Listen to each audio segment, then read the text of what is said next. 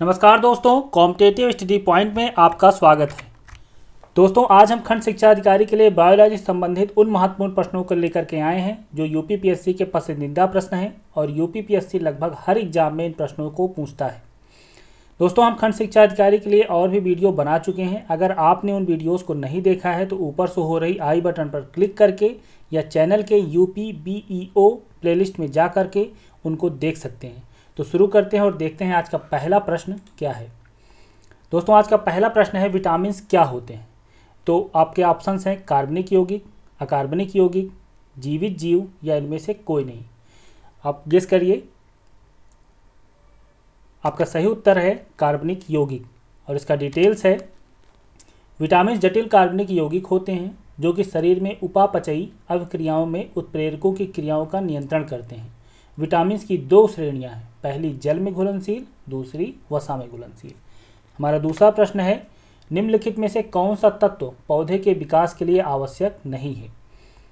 तो पहला है सोडियम, दूसरा पोटेशियम, तीसरा कैल्शियम, या चौथा मैग्नीशियम।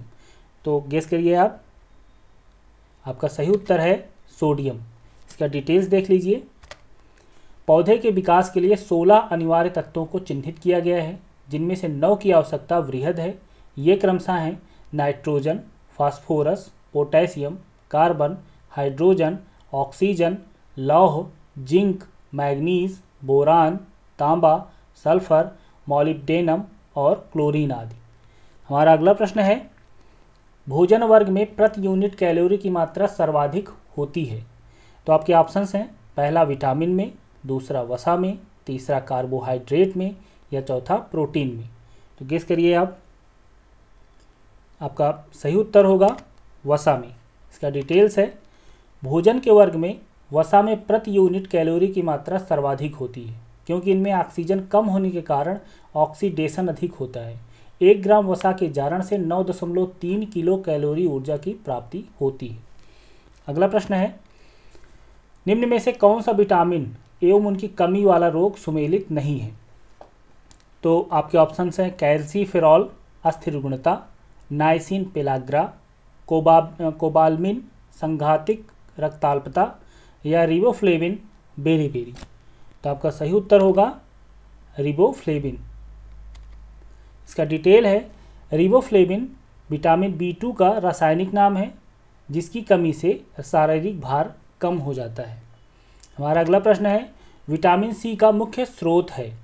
तो आपके ऑप्शन है कच्चे एवं ताज़े फल, दूसरा दूध, तीसरा घी या चौथा दालें। तो गेस करिए आप, आपका सही उत्तर होगा कच्चे एवं ताज़े फल। अगला प्रश्न है, घाव के भरने में सहायक विटामिन है। तो पहला है आपके सामने ऑप्शन विटामिन बी दूसरा विटामिन सी तीसरा विटामिन ए या चौथा विटामिन डी तो आपके सामने ऑप्शंस आ गए हैं, अब आप इनको गेस करिए।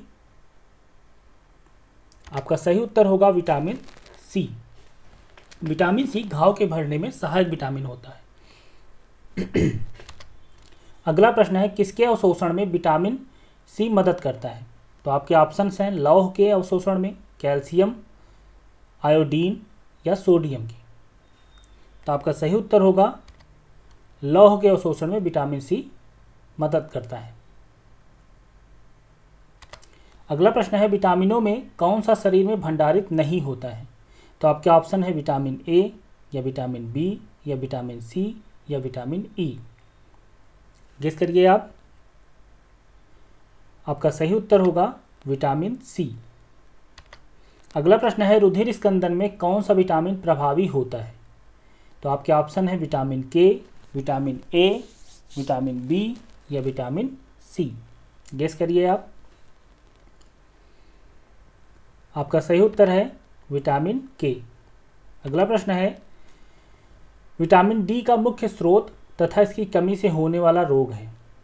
तो पहला ऑप्शन है नींबू, पेलाग्रा, दूसरा संतरा, बेरी बेरी, तीसरा काजू, रक्ताल्पता, चौथा सूर्य की किरणें, रिकेट्स एवं आस्टियोपोरोसिस तो आपका सही उत्तर होगा, गेस करिए आप,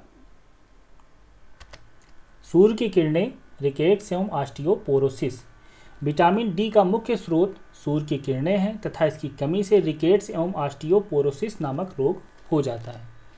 अगला प्रश्न है, मानव शरीर में विटामिन ए संचित रहता है तथा इसकी सर्वाधिक मात्रा किसमें पाई जाती है?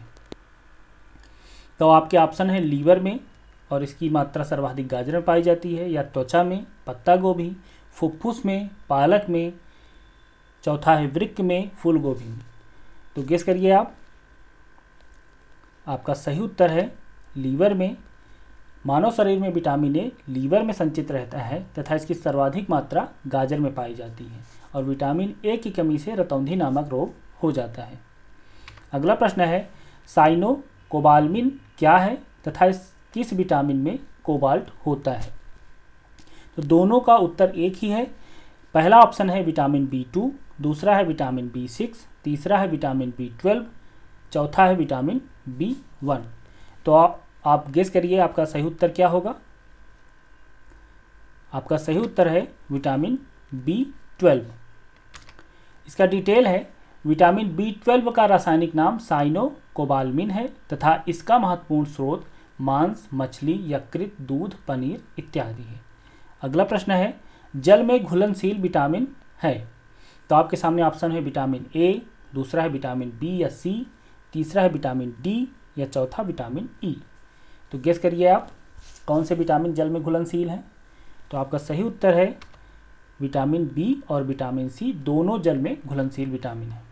अगला प्रश्न है, वसा में घुलनशील विटामिन है।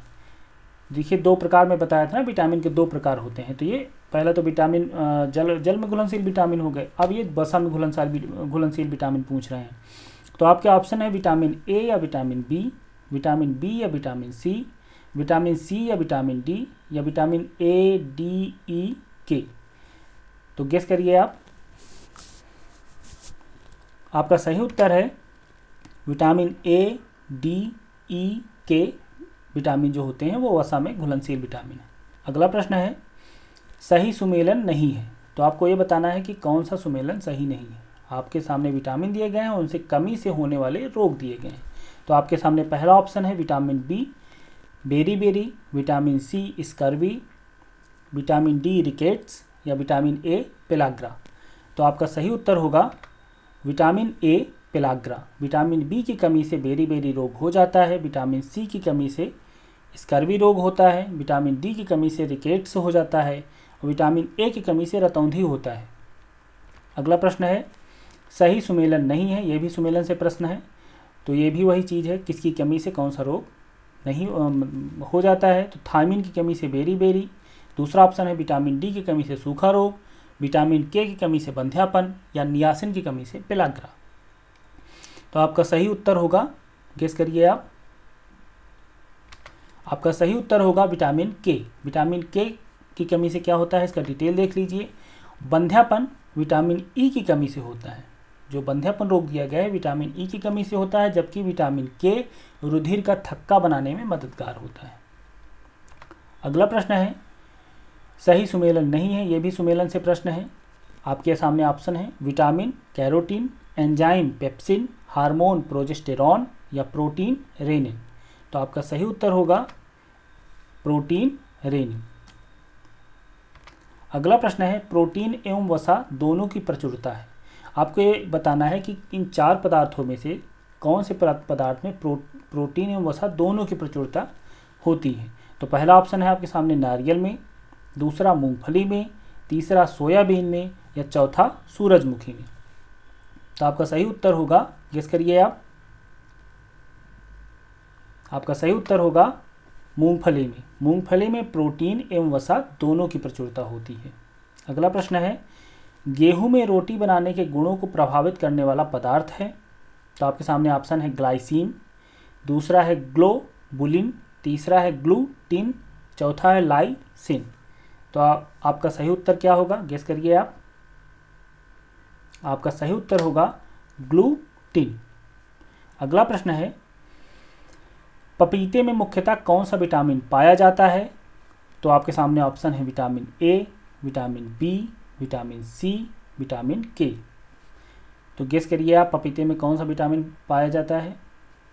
तो आपका सही उत्तर होगा, विटामिन सी।